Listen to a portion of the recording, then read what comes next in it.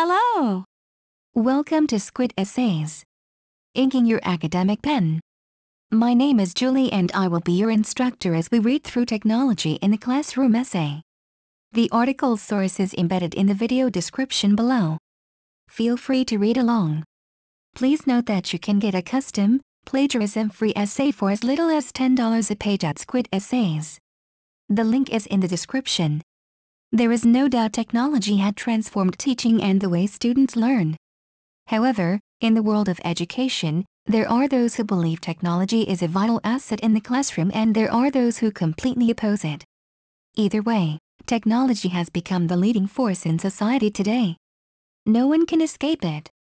It is important for educators to find the most effective ways of using technology in the classroom without relying solely on it.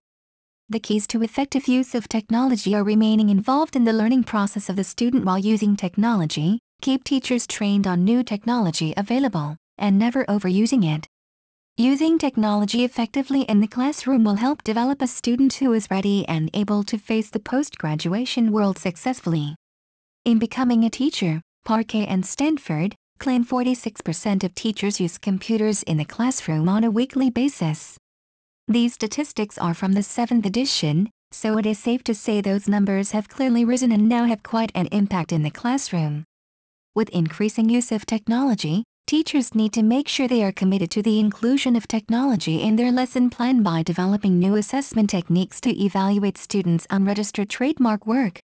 For instance, a teacher cannot simply grade a student on correct answers because he or she could have simply looked them up via the internet. The teacher must evaluate what the student is learning based on evidence of critical thinking and real-world problem solving. Plagiarism may become an issue with the use of technology, so it is important for educators to explain the importance of students' unregistered trademark writing their own material and citing sources they may have used. Parkay and Stanford also claim that, although school districts are developing new approaches to providing teachers with support for integrating technology, they are not spending an adequate amount of money on the training. With the abundance of technology available to teachers, it is important for them to receive sufficient and ongoing training. Teachers are doing everything from emailing parents to designing complete lessons that require students to use the internet as a resource and part of their participation. These educators need to remain proficient in the ways they choose to use technology. Also, some claims are being made that students are becoming more tech savvy, than the educators and this puts the teachers at a disadvantage when assessing the students' learning. Teachers are beginning to rely on the students for help in the classroom and this sets an uneven tone in the classroom. Teachers will lose their credibility. Once educators begin to realize how powerful a tool the computer can be to learning, they must resist the urge to rely solely on it. It must remain clear that the computer and the internet is just another form of literacy available to them while teaching.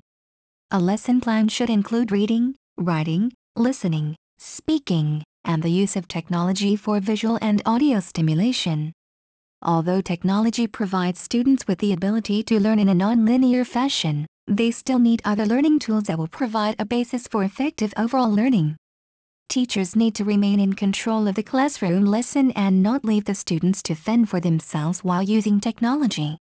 Some critics believe teachers are, in fact, overusing technology. They claim computers will not improve education, and therefore, are not needed in the classroom. Some claim older effective teaching methods will be thrown out and overlooked because of the convenience of technology. There are many difficult questions surrounding if technology should remain at the center of learning, or if teachers should consider using them as only sources of entertainment. I believe, Technology provides students with effective ways of learning that keep them on track with the increasing technological world we live in and if teachers utilize it correctly, it will prove to be an effective strategy for teaching. Thank you for taking your time to listen to me. I hope you enjoyed learning about technology in the classroom essay as much as I did. Kindly remember that you can get a custom, plagiarism-free essay at Squid Essays for as little as little as $10. The link is in the description. See you next time.